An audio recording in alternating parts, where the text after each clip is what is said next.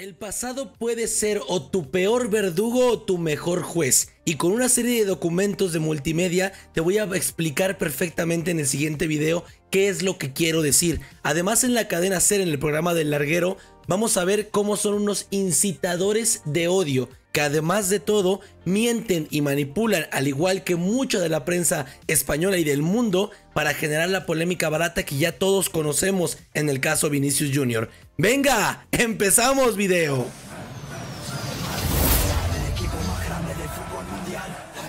¿Qué tal familia? ¿Cómo está la mejor comunidad de YouTube Real Madrid? Muchas gracias por estarme acompañando en un video más en el canal. El día de ayer, bueno, logramos la beta de 30.000 que como ya les expresé en un video, es para ustedes. Son los mejores y no me voy a cansar de decirlo. Me estuvieron chuleando mucho ayer la playera de Stranger Things, por lo que hoy decidí ponerme también la otra que tengo por ahí guardada, donde tenemos por supuesto a 9, a los chicos de la, de la serie y que bueno, espero que a muchos también les guste. Me quedé afuera de mi casa, eh, se, nos olvidaron las llaves.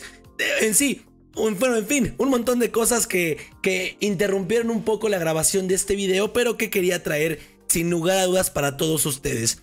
Empezamos con el caso vergonzoso de la cadena SER, donde vamos a ver una vez más esta herramienta de manipulación, por supuesto, de incitación al odio, porque no deja de ser eso. Están haciendo un llamamiento para atacar a Vinicius, pero sobre todo utilizando la herramienta de la manipulación y de la mentira para generar a partir de ahí la polémica. Eh, que me rondan la cabeza desde que me ha llamado Javi Blanco por la tarde. No sé cuántos jugadores o agentes de jugadores han tenido la oportunidad de estar en una reunión eh, con la Fiscalía General de Odio para conocer lo que España estaba haciendo para combatir el racismo. Mi información es que eh, miembros del staff de Vinicius estuvieron en una reunión privada de la Liga con la Fiscalía General de Odio para que la gente de Vinicius viera lo que España estaba haciendo para combatir el racismo en el fútbol.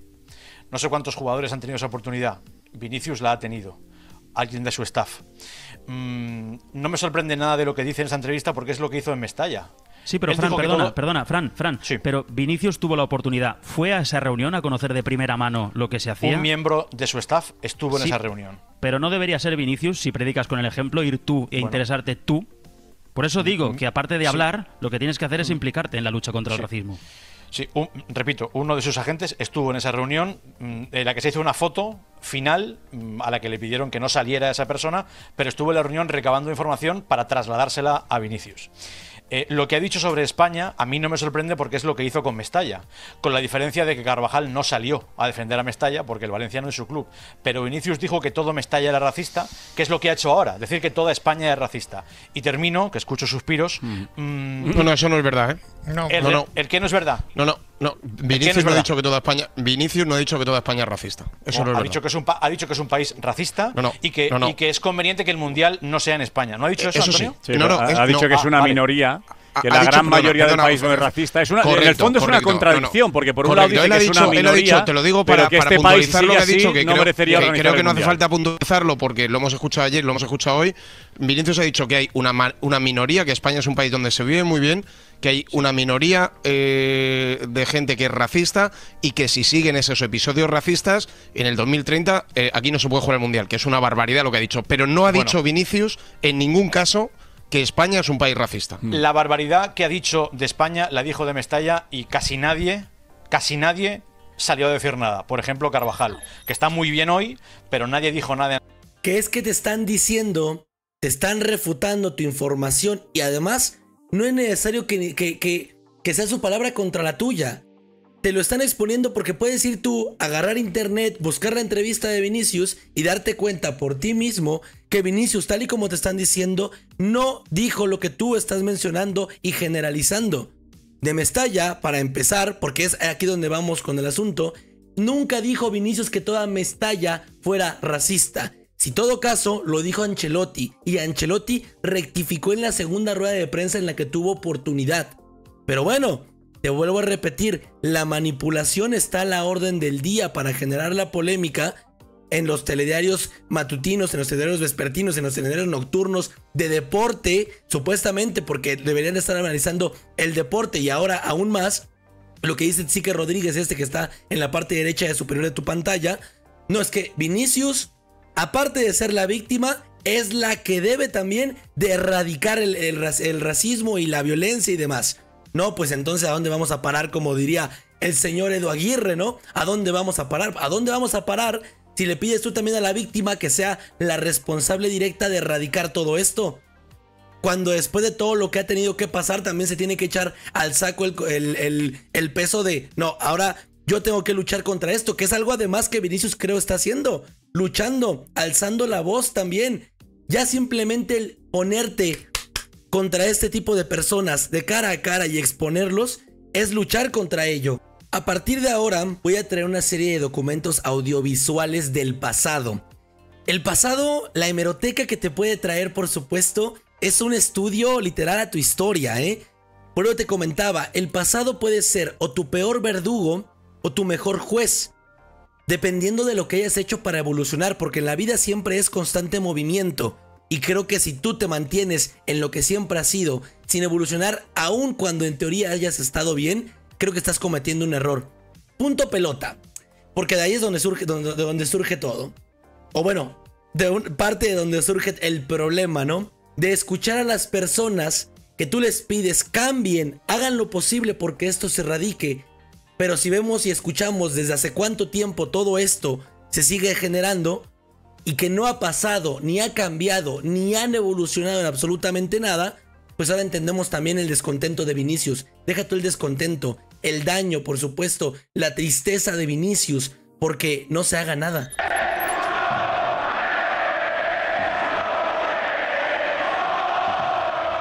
¿no? apuntarlo en el acta, lo de mono mono que gritó una buena parte del estadio. ¿Tú estabas en el campo, Gonzalo? ¿Te avergonzaste en aquel momento? No, no porque, a ver, yo no lo canté, pero entiendo que son cosas que se hacen para enfrentarte al enemigo. O sea, no creo que sea racismo, estoy con Cristina en ese sentido. Igual que Luis Aragonés, te puedo asegurar que a Luis Pereira, el mítico jugador de Atlético de Madrid, le llama negro cariñosamente, pues se llama negro sin más. aquí el estadio no llamaba cariñosamente mono a no, Marcelo. Pero, no, pero igual que a Cristiano se le insulta de otra manera, a Marcelo se le, se le dice eso por meterse con el enemigo. El primero que ya habías visto el siguiente, con la señora Cristina Cubero. Hoy Dani Alves denunciaba también que en los campos de España le, le, grita no sé qué. Mira, lo ha dicho en. ¿Cómo se llama el la periódico? La este? Fola de Sao Paulo. La Fola de Sao Paulo. La Fola, que es la hoja de Sao Paulo, ¿no? La hoja en, portugués. Pues esto es lo que ha dicho Dani Alves, que, se queja del trato que recibe en los campos. Dice: Los aficionados me insultan y me llaman mono. ¿Es verdad esto? Pero bueno, me puede decir. Sufrí mucho racismo en España. Por desgracia, ya aprendí a convivir con eso. Al principio me echaba bastante, me chocaba bastante, pero ahora no le doy importancia pues los árbitros tienen que apuntar con claro, no lo por supuesto. Si no han puesto lo de Mourinho, ¿por, qué, por, qué tiene que acostumbrarse Dani Alves? Aquí nadie tiene que acostumbrarse a los insultos. Nadie, ¿no? Ese es el gran drama del fútbol español. es el gran drama del fútbol español esto. esto. Lo que está pasando, Cristina, lo que está pasando en el fútbol español, el racismo, los insultos a Mourinho, a Alves, lo que pasó con Eto. Ese es el gran drama. Tenemos una suerte increíble de tener estos, tantos buenos jugadores en España. Pero la imagen del fútbol español es mala en Europa a veces por este tipo de temas. Pasan todos los Y aquí. No, no, no, Sí, en Italia todo está pasando no, Fuera se lucha contra. Lo mismo fuera se lucha. Aquí no se lucha contra esto. Multas, en Inglaterra, en Inglaterra han limpiado mucho. No, pero si se ha luchado. pero, aquí no se lucha. pero o sea, yo soy una, no, no, creo que sea racismo, ¿eh? No creo que sea racismo. Yo creo que el que dice mon no, no, no, no es, no es racista. Es algo que le puede molestar Quiere insultar y quiere provocar, porque sabe que a Alves lo que provocará, sí, sí. Te equivocas, porque no vas a luchar. Si llegas que es racismo, no luchas contra el problema. El gran problema que hay aquí es que la gente, no, es que es parte del juego. No, es muy grande, es racismo. Hay que decir que yo lo digo, bien. explicado que a ¿eh? cada jugador le insultan por una cosa diferente. Claro, para o sea, intentan sacarle de quicio los, Ahora, tú fíjate, que se una gran ocasión en España. Se perdió una gran ocasión con lo de Eto, con lo de Eto en Zaragoza, que aquel día hubiera tenido que parar el árbitro el partido para cambiar la lógica que hay vale, Infelizmente es una guerra, es una guerra que, que para mí es una guerra perdida, ¿no? Porque hasta que no se tome eh, medidas un poco más drásticas eh, seguirá existiendo. Llevo 10 años aquí en España y, y, desde de los 10 años, que, desde el primer año que estoy aquí, eh, sigue habiendo esas cosas. ¿no? Entonces, yo pienso que la gente que realmente tienes que tomar providencia en ese aspecto, tienes que Ay, ay, ay, eh, temas muy delicados, insisto, pero sobre todo que nos dejan, a mi parecer, ahorita tres puntos por lo menos para debatir y que no voy a tampoco a explayarme tanto porque si no este video se hace muy largo y ustedes ya saben mi punto de vista. El primero, ¿desde hace cuánto tiempo se sigue en lugar de aceptar el problema como te digo, que es el primer, el primer paso para poder dar solución? Pues se sigue negando. Y a partir de allí exculpo y bueno, y a, partir de ahí culpo y además veo otro lado, pero no de donde estamos viendo el problema. España, perdón, Italia, Inglaterra y, demás países. Entonces la culpa es allá, aquí no, ¿vale? Y no estoy hablando solamente de España, estoy hablando de muchos países del mundo que hacen exactamente lo mismo. Lo mismo. Luego, en segunda, lo de la señora Cristina Cubero. Me queda claro que es una impresentable, una, un asco de... Ya, ahí lo dejo. Porque aparte parte del problema es no identificar de manera correcta el problema. O sea, que no sepas diferenciar entre lo que es el insulto, que debe de ser igualmente condenado, pero entre, entre lo que es el racismo, la xenofobia y demás muestras de violencia y odio, me parece que entonces por eso estás como estás, porque no has entendido a lo que nos estamos refiriendo. Es como si estuviéramos jugando ajedrez y tú quisieras jugar damas chinas, porque no sabes lo que está pasando. Porque no entiendes, porque no te, no te pones a estudiar, porque no has ni siquiera captado el concepto de lo que se está trabajando o tratando de erradicar. Por eso, por eso están así. Y luego, bueno, ya lo, que estábamos también em, eh, hablando o viendo con Dani Alves, ¿no? Es que es Vinicius el problema. Vaya, es Vinicius el problema. Ya lo vimos con Marcelo, ya lo vimos con Dani Alves, lo vamos a ver también con Roberto Carlos. Es Vinicius el problema, ¿no? La víctima es el problema. Ojito con el siguiente. Hola, buenas, buenas noches. Pues sí, es, lo que iba a decir. O sea, reiterar otra vez el mismo tema. Ya ha pasado este tema, no hace falta. Si tantos problemas que teóricamente había en La Roja, ahora resulta que no hay problemas en La Roja, que hay buen rollo y tal, pues déjalo ya.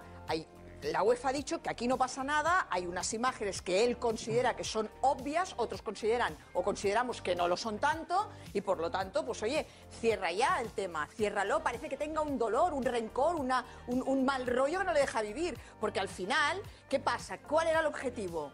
Eh, que no estuviera en la final Busquets. Pues lo siento, señor Casillas, lo siento, señores del Madrid. Busquets va, a jugar la final en Wembley y ya está. Y si tan compañero tuyo es y tan profesional sois todos, una vez hay una sentencia del estamento que, que les ocupa, pues se acaba el tema y punto. Nos guste o no, se equivoquen o no, es lo que hay. Rocío, ¿qué tal? Buenas noches. Ay, ay, ay. Este también es el colmo de todos los males, ¿no? Vaya días ha tenido la señora Carmen Barceló, Carmen, Carmen Barceló. El día de ayer autorretratada y hoy también exhibida por su pasado. Por lo te comentaba, puede ser tu peor verdugo o tu mejor juez. Eh, Sergio Busquets llamando mono a Marcelo. Y ella poniendo por delante de todo esto, además queriendo ocultar otra vez el tema, diciendo, ya, ya, ya, sácalo, zánjalo ya, ciérralo ya. Lo mismo que decía ayer del caso Negreira, ¿no? ¿Qué, premura hay por ya dar por cerrado los temas sin que haya una verdadera solución? Bueno, y a partir de aquí, pues poniendo por delante lo deportivo a este problema social que está invadiendo y que está lamentablemente manchando el campo de fútbol, que es el racismo. Porque otra vez, no, es que ya que, se juegue la final y que busques y que, y que, y que lo cierren y demás. Porque lo, importante es lo que, lo que, se tiene que jugar. Pero ya Marcelo, ya y demás, y ya Casillas. O sea, postergando tanto el problema, postergando tanto lo que está pasando, que terminas por olvidarlo hasta que nuevamente la gotera vuelve a, vuelve a, salir, el agua vuelve a, a fluir y te das cuenta de que lo que resanaste no lo hiciste bien y que el problema sigue y que desde hace tiempo, ahorita, tú sigues repitiendo tus mismos errores. El siguiente, la víctima es Vinicius. a Barcelona. Cuando yo, claro, si tocábamos el balón, el público hacía algunas cosas como macaco. como mono, Que en otras, en otras ciudades que hemos jugado no hemos tenido ese problema. Yo pienso que es la única ciudad de España que tiene problemas de racismo. Guardiola sale a su paso. La afición del Barça se puede tildar de racista por haber dicho supuestamente monos a Roberto Carlos y el Habla mucho ese señor. habla demasiado. Lleva todo el año hablando mucho de ese sentido. No conoce esta afición y conoce. Lleva pocos meses aquí como para clarificar estas cosas. El recibimiento de una parte del público después del intercambio es este.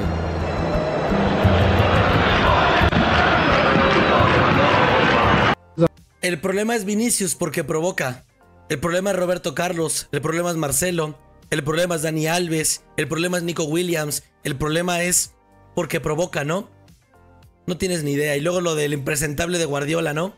La risa irónica, burlesca, el reflejo de una sociedad completamente em, desintegrada que además está yéndose por el, por el, por el, por el, por el borde. O sea, no, no tiene ningún sentido, ¿no? No hay palabras para describir lo que él supuestamente había, intentado defender y que los hechos, las palabras como este tipo de pancartas, pues te demuestran completamente lo contrario. Ahora ya no fue la voz, ahora es la palabra escrita. A ver si ahora se equivocaron también en la palabra escrita, ¿no? Y también leyeron mal, leyeron mal.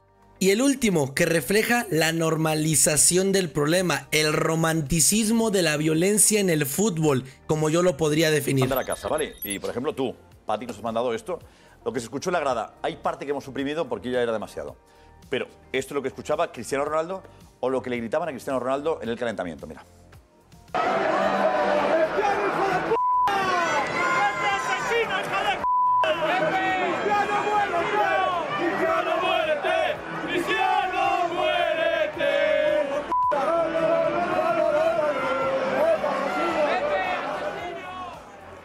Digo, lo peor lo hemos quitado. ¿Cómo sea lo peor? ¿Eh? Qué barbaridad. Bien, eh, Enrique Cerezo, nuestra compañera Nuria ha preguntado a Enrique Cerezo hoy por ese tema. Por los gritos. Enrique Cerezo dice que no tiene importancia. Y la ciudad de Atlético indiscutiblemente mucho mejor que el árbitro, fantástica. ¿Y los cánticos a Marcelo, a Mourinho? los que se oyen en todos los campos de España. No hay ningún campo de España que no se oigan este tipo de cánticos. ¿Por eso en el acta no se recoge? Pues me imagino que no, debe ser una cosa habitual. Bonito, ¿qué te parece esto? ¿Qué has visto? ¿Qué has visto? Não, eu creio que ídolo Cristiano é normal, ele também provoca e a gente, pelo de Marcelo, de Mono, eu creio que é demasiado, um pouco pesado. Pesado? Sim. O sea, que lo de Cristiano lo pruebas. ¿Es normal? No, no que lo pruebo, pero es que es normal que tú lo ves que ¿Cómo que va a ser, provoca, pero ¿cómo va a ser normal? No, ¿Cómo dices tú? Eh, ¿Cómo que va a ser normal? No, no, no te yo entiendo. Yo creo que de la grada, de la grada, uma pessoa está dizendo algo, não quer dizer que ela vai ser dentro de campo. É uma pero, forma dela se expressar e logo o Cristiano provoca. Tuviste, tuviste provoca, Cristiano, provoca. Cristiano, pero, Cristiano eu, eu, como jogador, eu como jogador me tomo isto como um, no, algo te... para de motivação, por exemplo. Um halago, sí, casi. Pero, esto, pero dice Wellington, el gesto esto, este de... esto pasó en la década de 40 y va a pasar en la década de 2040, va a seguir igual. No, pero si, to si todos ponemos de nuestra parte no tiene por qué seguir. Pero cuando hablas de, pues si, la, si un compañero está... lo, lo, insulta, no, pero llama, eso, eso, es provocación. Wellington, ¿Eso es provocación, el gesto este de Ronaldo? ¿De no oigo? Hombre, se estão, a ele eles estão picando e ele em seu momento caliente lo contesta de uma maneira que ele está contestando com señales. Sí, pero, pero, eso es provocar. Yo creo pero ya le están insultando con la Pero eso, eso, la, la, Eres un futbolista que está Yo estoy de acuerdo con La afición está insultando y él está en su momento caliente. No debe entrar nunca a la provocación de la grada. Nunca jamás debería entrar. Nunca, nunca. Aparte que por mucho que le cante, por mucho que le digan, nunca debería entrar. Un futbolista nunca se puede poner a la altura de la, del aficionado, nunca jamás. Por mucho que, hay que No hay que... A ver, quitamos el sonido ya. Eh, digo, Benito, no hay que Por Dios. Mismo año diferente, distinto año, misma patética, vergonzosa, deplorable, denunciable conversación.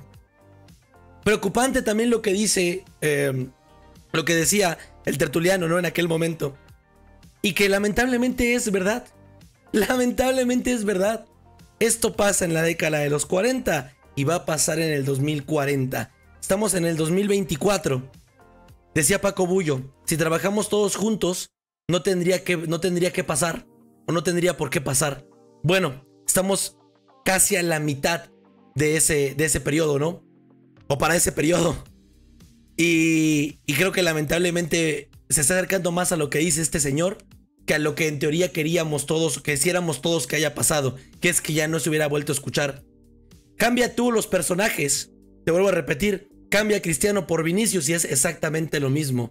Y lo de los comentaristas, aún peor. Álvaro Benito diciendo, no es que no se debe de meter con la garada, diciendo que la víctima no debe alzar nunca la voz. A mí me parece por eso que ahora más que nunca hay que aplaudir lo que está haciendo Vinicius. Porque lo que en su momento muchos no lo han hecho, incluso Cristiano, ¿no? De, hubiera sido maravilloso también que, que lo hubiera...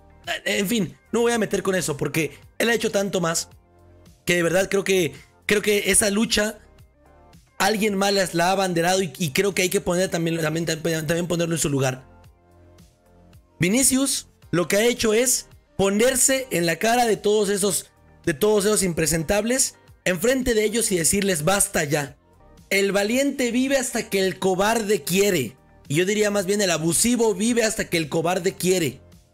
Y qué bueno que haya una persona que haya dicho basta ya. Basta ya. Y que por muchos que lamentablemente no se atreven, no tienen el valor, no, por alguna u otra razón no han podido, no han querido también, pues denunciar todo lo que ha pasado, alguien esté peleando por ellos. Así es que todo lo que vimos es una prueba, una evidencia, una, una forma de constatar que lamentablemente en el mundo, en el fútbol, no estoy señalando España, esto pasa lamentablemente en varios campos como se ha comentado del mundo. No se ha evolucionado lo suficiente para que la gente entienda que las, muestras de violencia, que el racismo, que la xenofobia, que cualquier muestra y de odio debe de erradicarse por completo en el deporte, porque el deporte es todo lo contrario. Unión, valores, perseverancia, todo eso pero en fin, los mismos de siempre, haciéndolo de siempre. La diferencia, la única diferencia que hay ahorita es que hay alguien que se ha alzado y que ha dicho, stop. Familia, nos vemos en el próximo video. Fuerte abrazo. No quería que hiciera muy largo y duró un montón. Hasta el final, vamos real. Venga, a la Madrid.